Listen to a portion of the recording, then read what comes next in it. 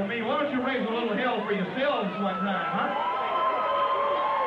Sounds good. My people on the floor, I know they're okay. They're wild. They're dangerous right through here. Yeah, no problem.